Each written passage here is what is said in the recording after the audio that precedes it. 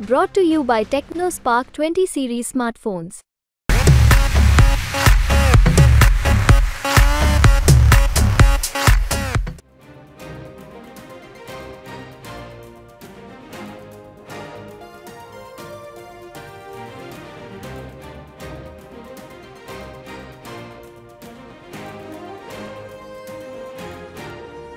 ગુજરાતના પૂર્વ મુખ્યમંત્રી શંકરસિંહ વાઘેલા છે તે રાજકોટના કાગવડ સ્થિત ખોડલધામ ખાતે પહોંચ્યા હતા, જ્યાં નરેશ પટેલ દ્વારા તેમનું સ્વાગત કરવામાં આવ્યું હતું.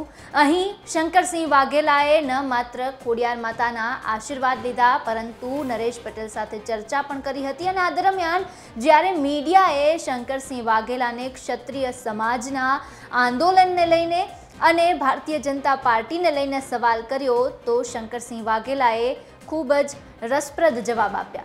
શું કહ્યું હતું? શંકરસિંહ વાઘેલાએ સાંભળો. મારા ગોંડલિયા પરિચિત પરિવારનો એક ધાર્મિક કાર્યક્રમ. આપણા કોઠર ગામના પ્રણેતા માની નરેશભાઈ પટેલ એમાં ખાસ આમંત્રિત છે. હવે સાથે જઈએ તો સારું. પોતાનો આગ્રહ હતો. સ્વાભાવિક આ રસ્તે જતા હોઈએ.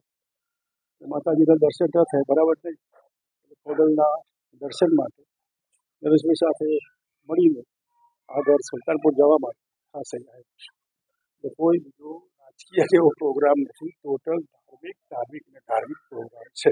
અહીં ખોડલ ધામમાં ખોડલની ચર્ચા થાય સંકલન સમિતિવાળા મિત્રો મળવાના છે. અને એ પરમનન્ટ કમિટી છે. ફક્ત આ કામ માટે નહોતા એ સંકલન સમિતિ આ ક્ષત્રિય સમાજનું કામ જે દિવસે રાજકોટ લોકસભાની ચૂંટણી પૂરી થઈ એ દિવસે કામ પૂરું થાય. પાર્ટ ટુ પાર્ટ થ્રી એવું એમાં કંઈ ના હોય. કોઈના ઘરનું હોય પણ સમિતિ તરફથી કંઈ નથી. આવી મને માહિતી. ઓકે. સહકારી ક્ષેત્રમાં મેન્ડેટ હોય હમ. ભાજપ તરફથી મેન્ડેટ અને મેન્ડેટ વાળા ઉમેદવાર હારી જાય આ બાબતે આપ તો ભાજપથી પૂરેપૂરા વાકેફ છો. હું નથી અત્યારે એમાં. વાકેફ છો કરે.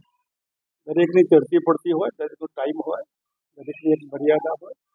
બીજેપીના લગભગ ક્લાઇમેક્સ આવી ગયું એટલે હવે માતાજીના સાનિધ્યમાં વાત કરવી સારી ક્ષત્રિય આંદોલન મુદ્દે અને ભારતીય જનતા પાર્ટી પર કટાક્ષને લઈને શંકરસિંહ વાઘેલાએ જે કહ્યું છે તે મુદ્દે આપનું શું માનવું છે અમને કોમેન્ટ બોક્સમાં જણાવો, સાથે જ આ વિડીયોને લાઇક શેર અને અમારી ચેનલને સબસ્ક્રાઇબ કરવાનું ભૂલશો નહીં. ફરી મળીશું નવા વીડિયો સાથે.